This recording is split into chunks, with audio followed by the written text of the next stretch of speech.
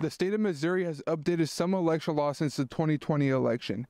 The Adair County Clerk's Office has been sending flyers to all registered voters in Adair County to give them the latest updates. Two of the main changes were the redrawing of district lines and requiring a photo ID in order to cast an official ballot.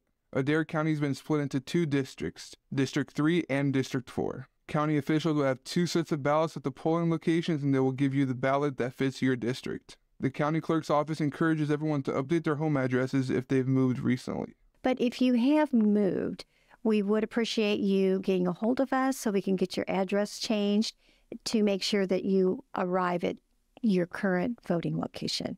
Photo IDs are also required to cast an official ballot now. Kirksville license office officials tell me that it usually takes 7 to 10 business days to get a new ID card. They usually cost $18, but if you're using the photo ID for voting purposes, the state of Missouri will cover the cost. However, if you cannot obtain a photo ID, polling officials won't turn you away.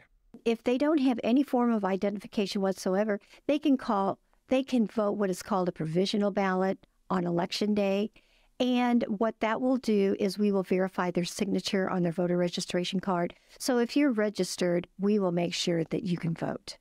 If your household has one registered voter, you should have received this flyer from the Adair County Clerk in the mail. Reporting from Kirksville, Nick Todorovich, KTVO.